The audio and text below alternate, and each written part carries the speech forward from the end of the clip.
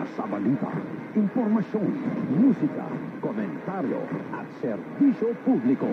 Ito ang DZME 1530. Una sa kanan, ang himpilang may paninindigan.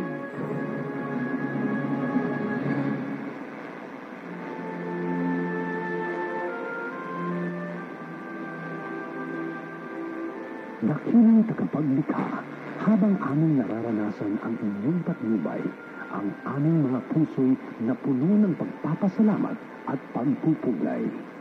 Salamat sa pagbibigay. Salamat sa mga kabatiran ng aming kahinaan at maging maawain sa aming katagumpay. Tanggapin mo ang aming mga alay para kami ay maging sensitibo at maging makatao. Maging mapagmahal at laging minamahal. Kami payapang mahihimlay sa inyong mga palad, tiwala sa inyong proteksyon habang hinihintay ang panibagong mabiyayang bukang liwayway at mapagpalang araw.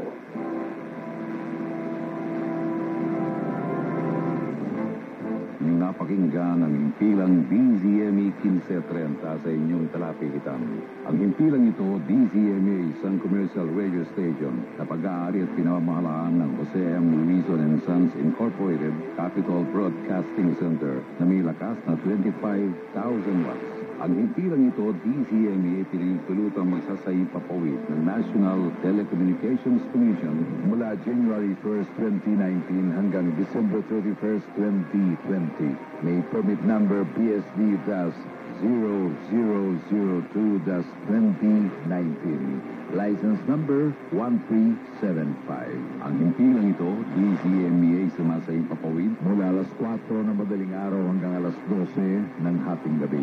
Ang aming punong himpilang ay matatagpuan sa 18th floor, Unit 1802, OMM Citra Building, San Miguel Avenue, Ortigas Center, Pasig City. Habang aming transmitter ay matatagpuan sa number 78 Flamingo Street, Barangay Panghulo, Bando, Bulacan. Sa paintulot ng National Telecommunications Commission, ang impilang DZMA pinangasiwaan ng mga sumusunod. Engineer Terry G. Bondok with ECE license number 796.